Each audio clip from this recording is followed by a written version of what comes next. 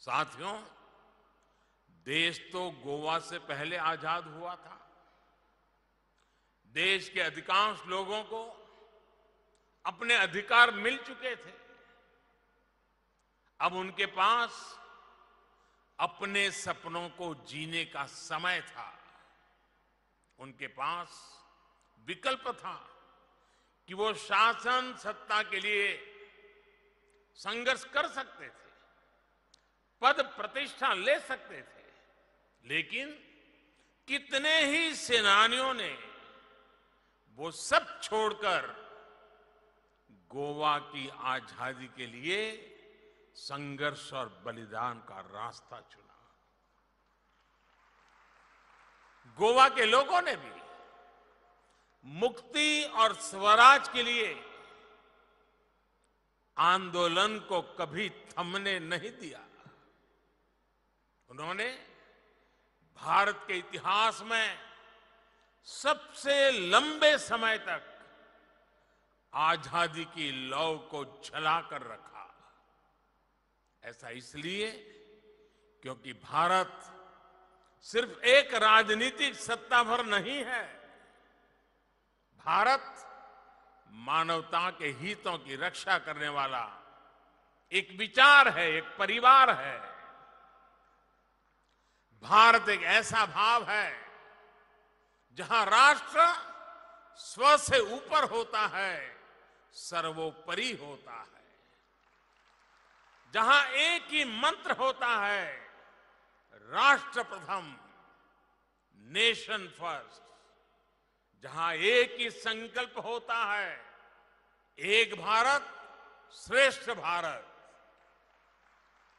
आप देखिए लुइस दी मिनेजिस ब्रांगाजा।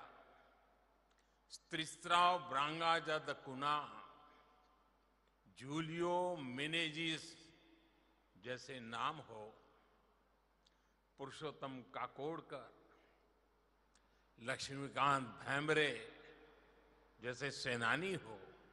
या फिर बाला राया मापारी जैसे युवाओं के बलिदान।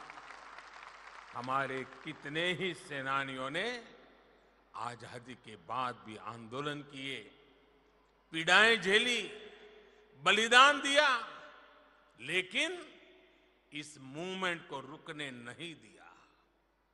आज़ादी के ठीक पहले राम मनोहर लोहिया जी से लेकर आज़ादी के बाद जनसंघ के कितने ही नेताओं तक ये मुक्ति आंदोलन लगातार चला था।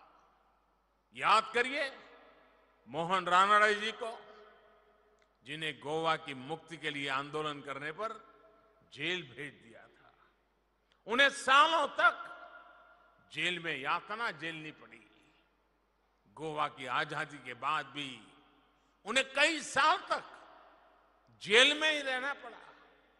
तब रानाड़ी जी जैसे क्रांतिकारी के लिए अटल जी ने देश की संसद में आवाज़ उठाई थी। आज़ाद गोमांतक दल से जुड़े, कितने ही नेताओं ने भी गोवा आंदोलन के लिए अपना सर्वस्व अर्पण किया था।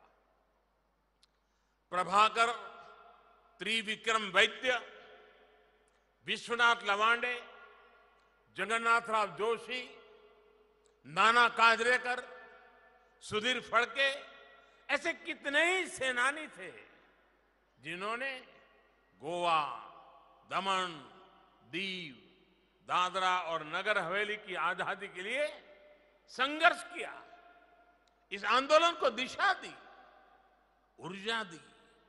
साथियों, गोवा मुक्ति विमोचन समिति के सत्याग्रह में 31 सत्याग्रहियों को अपने प्राण गंवाने पड़े थे। आप सोचिए, इस बलिदानियों के बारे में, पंजाब के वीर करनेल सिंह बेनीपाल, जैसे वीरों के बारे में, इनके भीतर एक छटपटाहट थी, क्योंकि उस समय, देश का एक हिस्सा तब भी पराधीन था। कुछ देशवासियों को, तब भी आज़ादी नहीं मिली थी।